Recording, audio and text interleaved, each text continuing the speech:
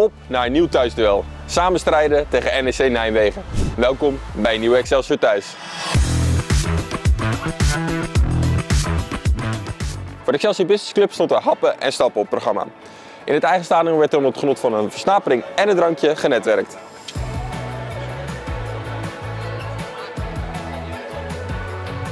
Ben je er klaar voor? Tijd voor een snelle update met de matchchecks. Het is wachten op een zege voor beide elftallen. Zowel Excelsior als NEC wonnen de afgelopen vier wedstrijden niet. Hoogste tijd voor verandering. NEC speelde dit seizoen maar liefst 12 keer gelijk. Het meeste in de hele Eredivisie.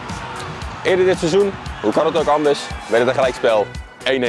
De laatste ontmoeting tegen NEC in de Eredivisie dateert van 2016. Toen werd het 2-2 dankzij Elbers en Karami.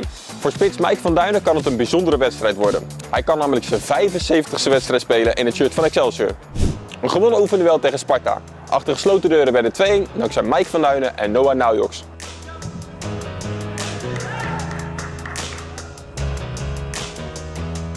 De jaarlijkse forumavond in samenwerking met Pro Excelsior is weer achter de rug.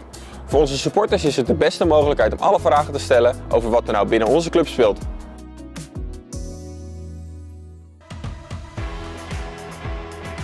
Kenzo en Peer staan natuurlijk terecht bovenaan. Kijken hoe onze goalies Stijn en Norbert het ervan afbrengen. Doe eens gewoon een grap, vijf naar school, kijk ze door hebben. Mensen, dat zien ze toch niet.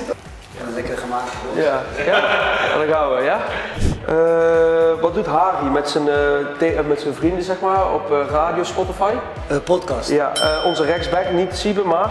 Tanny. Ja. Eh, we hebben een wedstrijdsponsor, maar je hebt ook... eh, wat- Balsponsor. Ja.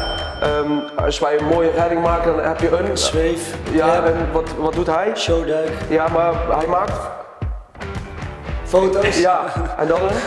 En dan eh, een fotomomentje. Foto. Oké, ja, geen Instagram, maar dat andere waar je op moet swipen, zeg maar. Eh, dat is van onder die... TikTok. Ja, actiefoto.